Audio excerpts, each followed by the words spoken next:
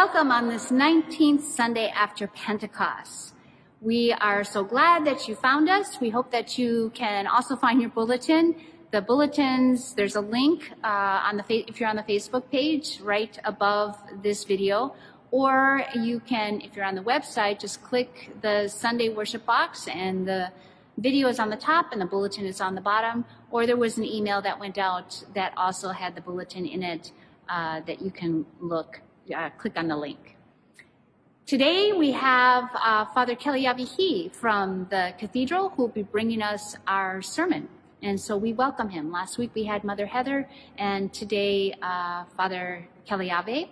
Um, get a chance to get to know some of the priests that are on our square. I am still in Seattle, actually, or the area. Uh, my son's wedding was um, yesterday. I have to think because I'm obviously filming this in advance. Uh, but anyway, uh, yes, 10 10 2020. So um, I am coming back on Tuesday, on the 12th. Let us now begin with our opening hymn.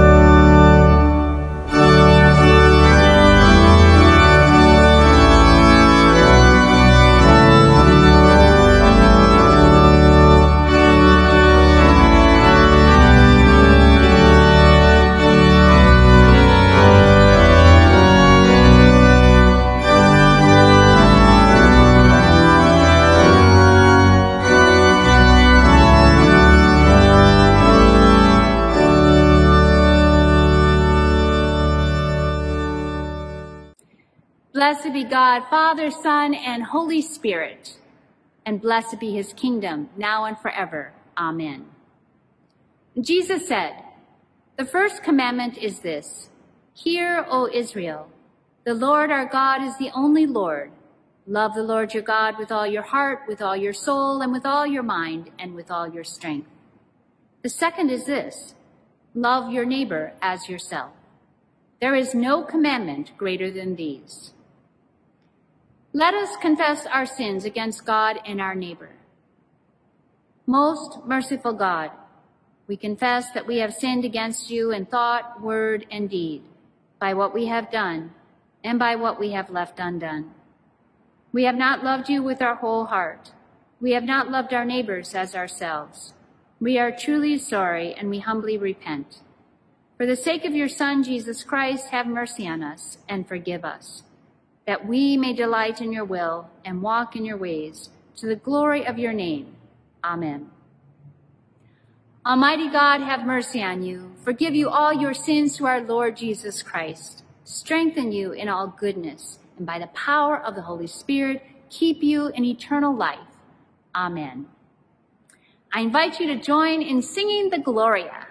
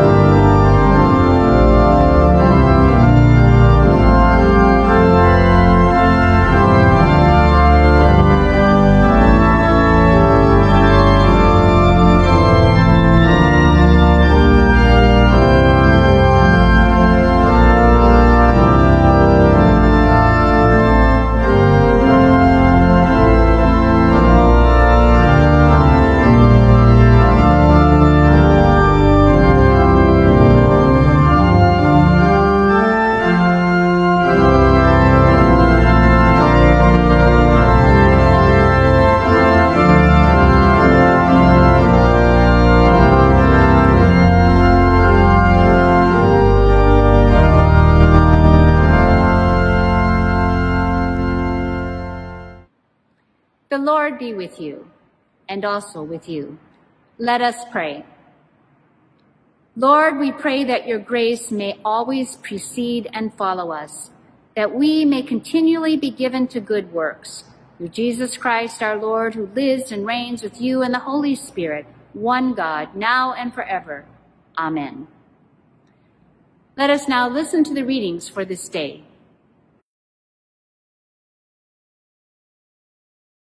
The first reading is from the prophet Isaiah, the 25th chapter.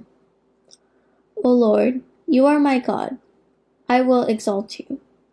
I will praise your name, for you have done wonderful things, plans formed of old, faithful, and sure. For you have made the city a heap, the fortified city a ruin. The palace of aliens is a city no more. It will never be rebuilt. Therefore strong peoples will glorify you.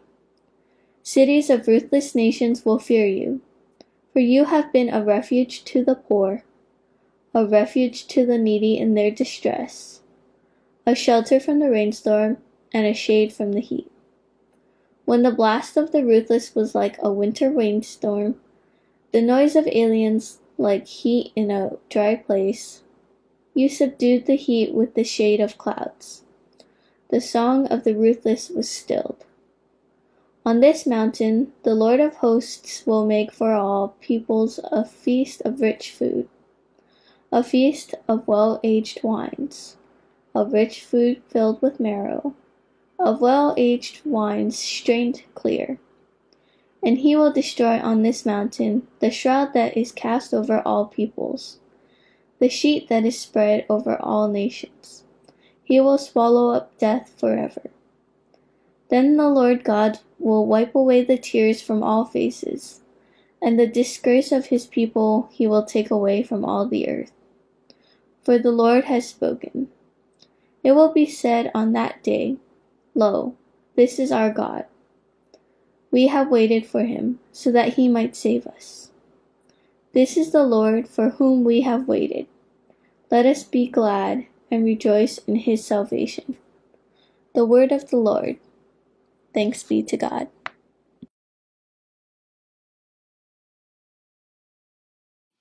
The 23rd Psalm, read responsibly by whole verse. We invite you to read along with your bulletins. The Lord is my shepherd, I shall not want. He makes me lie down in green pastures. He leads me beside still waters. He restores my soul. He leads me in right paths for his name's sake. Even though I walk through the darkest valley, I fear no evil. For you are with me, your rod and your staff, they comfort me. You prepare a table before me in the presence of my enemies. You anoint my head with oil, my cup overflows. Surely goodness and mercy shall follow me all the days of my life and I shall dwell in the house of the Lord my whole life long.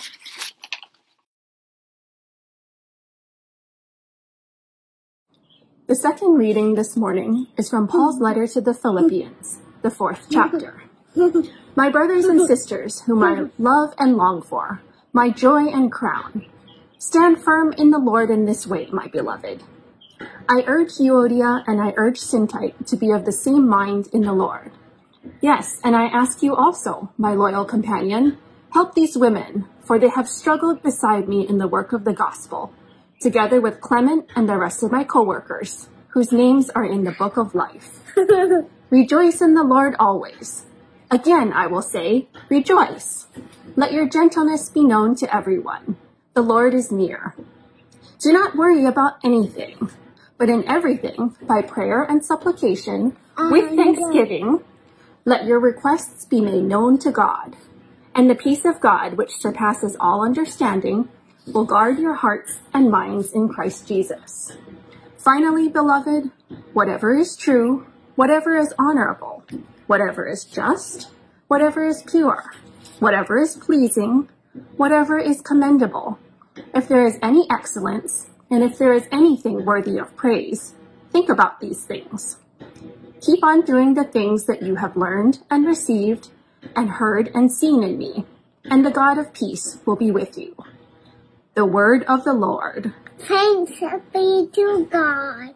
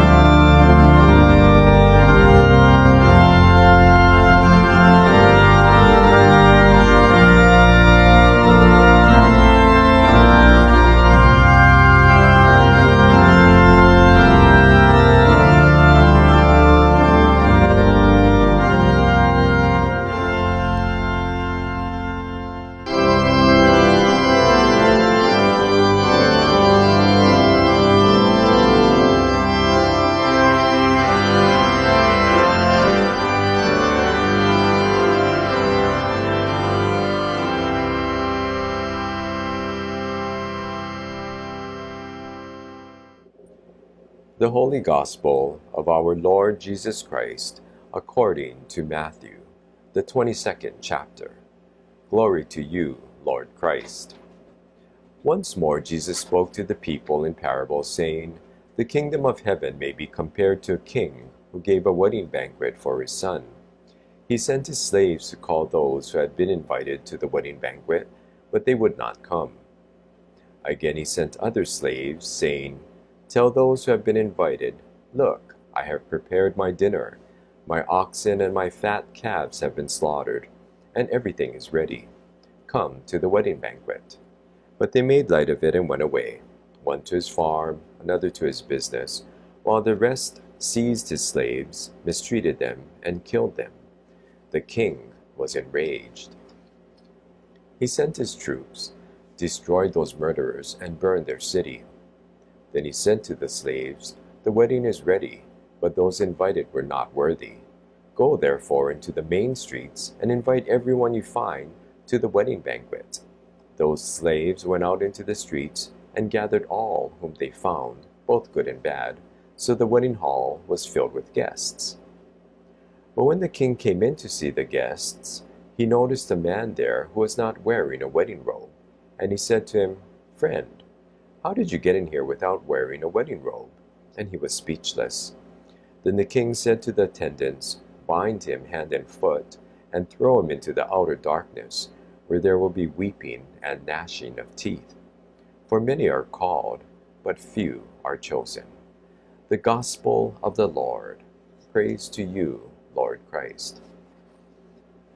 Aloha kakahiaka kakou. I'm Father Keleabe from the Cathedral of St. Andrew, here on the Queen Emma Square. My wife and I will be celebrating 33 years of marriage next week. Last year, our daughters gave us a gift that I'm still not sure if it's a blessing or a curse. They converted the VHS tape of our wedding into a digital format. They said, now you can watch it on your smart TV. Hmm, okay. Needless to say, it was very funny to watch. We all laughed at how big and puffy 80s hair actually was, especially mine. But how I secretly long for those days again.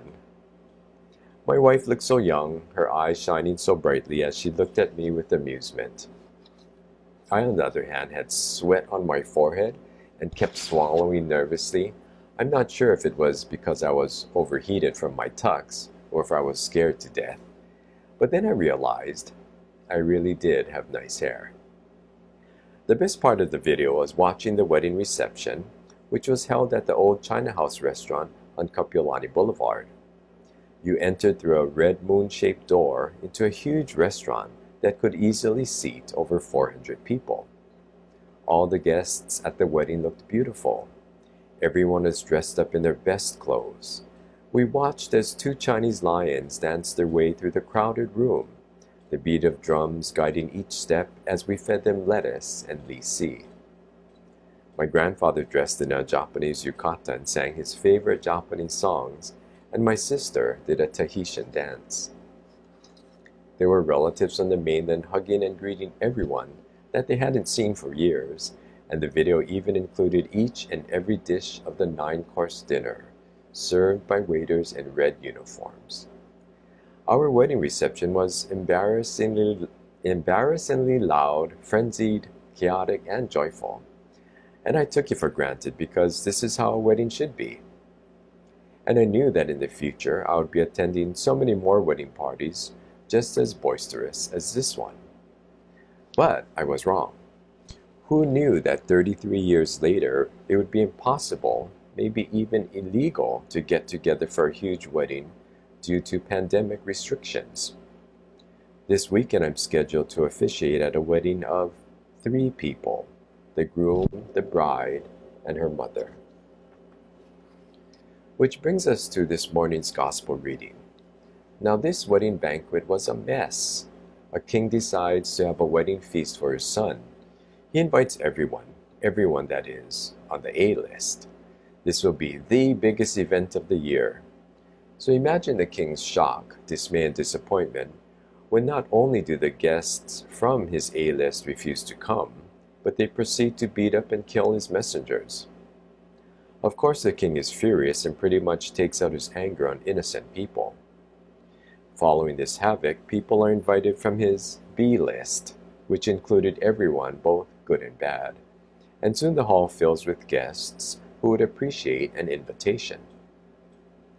And you can see the king is finally relaxed and happy, until he begins to look around the room and notices a guest who wasn't wearing the, the correct clothes that guest is suddenly thrown out into the darkness where there is weeping and gnashing of teeth.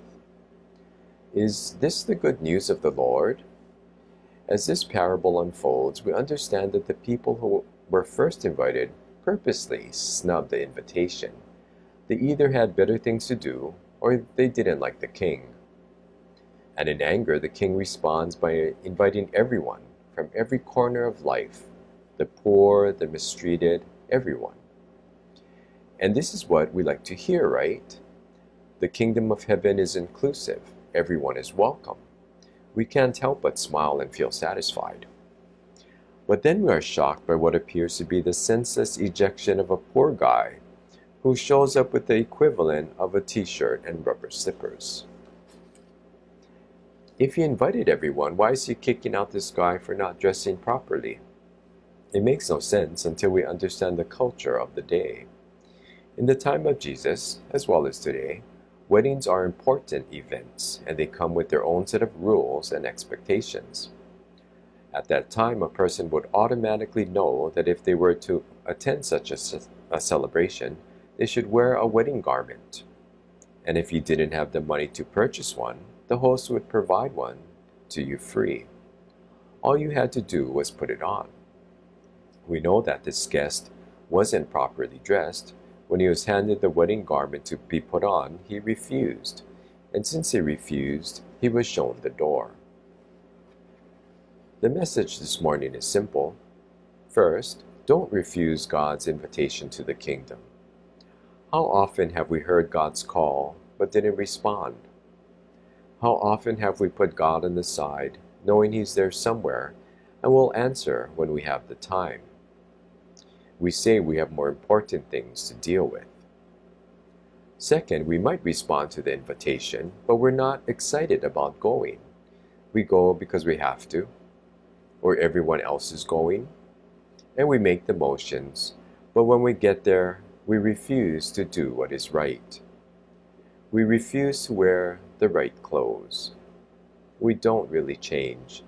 We're comfortable as we are in our t shirt and rubber slippers. But you see, that wedding garment is the transformation in our lives when we accept God's call. We need to put on that garment of love, put on that garment of justice, and put on that garment that forgives our enemies. We need to clothe ourselves in Jesus Christ. We can't come to the banquet expecting to remain unchanged. We'll be shown the door. For many are called, but few are chosen. When the day is done, when my last day is done, I hope to be grateful. Grateful that God had invited me to the party and that I have put on the garments that changed me not only on the day of my baptism, but every single day of my life.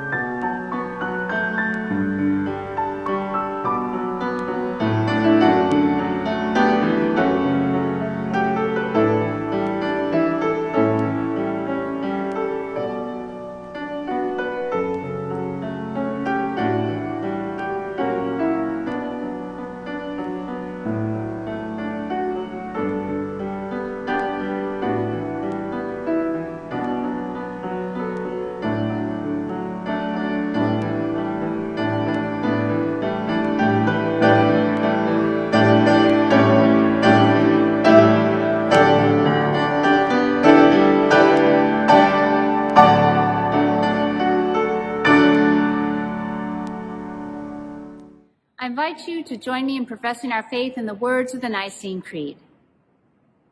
We believe in one God, the Father, the Almighty, maker of heaven and earth, of all that is seen and unseen. We believe in one Lord Jesus Christ, the only Son of God, eternally begotten of the Father, God from God, light from light, true God from true God, begotten, not made, of one being with the Father. Through him all things were made. For us and for our salvation he came down from heaven. By the power of the Holy Spirit he became incarnate from the Virgin Mary and was made man. For our sake he was crucified under Pontius Pilate. He suffered death and was buried. On the third day he rose again in accordance with the Scriptures. He ascended into heaven and is seated at the right hand of the Father. He will come again in glory to judge the living and the dead, and his kingdom will have no end. We believe in the Holy Spirit, the Lord, the giver of life, who proceeds from the Father and the Son. With the Father and the Son, he is worshiped and glorified. He has spoken through the prophets. We believe in one holy Catholic and apostolic church. We acknowledge one baptism for the forgiveness of sins. We look for the resurrection of the dead and the life of the world to come. Amen. I invite you to join me in the prayers. After each petition, I will say, Lord, in your mercy, I invite you to respond, hear our prayer. Let us pray. For the church and for the world, in the diocesan cycle of prayer, we pray for the non-parochial clergy serving in this diocese, the Reverend Sarah Schisler Goff and Ms. Heather Elizabeth Goff, the Reverend John Hau'oli Tomoso and Mrs. Susan Tomoso. In the Anglican cycle of prayer, we pray for the Anglican Church of the province of Uganda and the Most Reverend Stephen Samuel Kaziimba, Archbishop of Uganda and Bishop of Kampala. Grant, Almighty God, that all who confess your name may be united in your truth, live together in your love, and reveal your glory in the world. Lord, in your mercy, hear our prayer. Guide the people of this land and of all the nations in the ways of justice and peace, that we may honor one another and serve the common good. Lord, in your mercy, hear our prayer. Give us all a reverence for the earth as your own creation, that we may use its resources rightly in the service of others and to the glory and honor of your name. Lord, in your mercy, hear our prayer. Bless all whose lives are closely linked with ours, and grant that we may serve Christ in them and love one another as he loves us. Lord, in your mercy, hear our prayer. Comfort and heal all those who suffer in body, mind, or spirit. During this time, we remember especially those impacted by COVID-19. Give them courage and hope in their troubles and bring them the joy of your salvation. Lord, in your mercy, hear our prayer. We commend to your mercy all who have died, that your will may be fulfilled, and that they and we may share with all your saints in your eternal kingdom. Lord, in your mercy, hear our prayer. Almighty and eternal God, ruler of all things in heaven and earth, mercifully accept the prayers of your people and strengthen us to do your will. Through Jesus Christ our Lord. Amen. So again, this morning, I want to say thank you to Father Keliave He, who provided our sermon this morning. Uh, as I said at the beginning of the service, he is the vicar for pastoral care at the cathedral, just a stone's throw from where we are. Uh, last week we heard from Mother Heather, this week Father Keliave. Those are the two priests now that are serving at the cathedral. Uh, it's a wonderful gift of their sermons, especially during this time when I am away, uh, and I will be back with you again next week. Birthdays. We have four birthdays this week. Uh, Clinton Yee's birthday is on the 13th. Jenna Matsumoto's birthday is on the 15th. Rose Barroza's birthday is on the 16th, as well as Jocelyn Choi's. So let us pray for Clinton, Jenna, Rose, and Jocelyn. O God, our times are in your hand. Look with favor, we pray, on your servants, Clinton, Jenna, Rose, and Jocelyn, as they begin another year. Grant that they may grow in wisdom and grace and strengthen their trust in your goodness all the days of their lives. Through Jesus Christ our Lord. Amen. And we have two anniversaries today. Terry and Susan Dang and David and Amanda Stivers. So let us pray for Terry and Susan and David and Amanda. Congratulations to both uh, sets of both couples. Let us pray. Oh, sorry. I see I have one more as I scroll further down here. Bert and Cheryl Fong have an anniversary on the 17th. Um, that would be next Saturday. So let's pray for all three, Terry and Susan, David and Amanda, and Bert and Cheryl. Let us pray. Gracious and ever-living God, look mercifully upon Terry and Susan, David and Amanda, Bert and Cheryl, as they celebrate the anniversaries of their marriages. Grant them your blessing and assist them with your grace, that with true fidelity and steadfast love, they may continue to grow and rejoice in the promises and vows they have made to one another. Give them grace to live together in love, forgiveness, and mutual care through Jesus Christ, our Savior. Amen. And again, this is now the offering time. So we can't pass those koa bowls, but uh, please continue to send in your offerings and pledges to the church office or to go to the website and click on the donate button. We sincerely appreciate your part in making this ministry possible. And as I have said before, if you are struggling um, emotionally, financially uh, through this time, this is a very challenging time in which we are all living don't struggle alone. Please reach out uh, and uh, let me know. And we will travel alongside you and help in ways that we can. Let us pray the collect for Sundays. O God, you make us glad with the weekly remembrance of the glorious resurrection of your Son, our Lord. Give us this day such blessing through our worship of you, that the week to come may be spent in your favor. Through Jesus Christ, our Lord. Amen and I invite you to join me in the Lord's Prayer. Our Father, who art in heaven, hallowed be thy name. Thy kingdom come, thy will be done, on earth as it is in heaven. Give us this day our daily bread, and forgive us our trespasses, as we forgive those who trespass against us. And lead us not into temptation, but deliver us from evil. For thine is the kingdom, the power, and the glory, forever and ever. Amen. Let us now join in singing our sending forth hymn.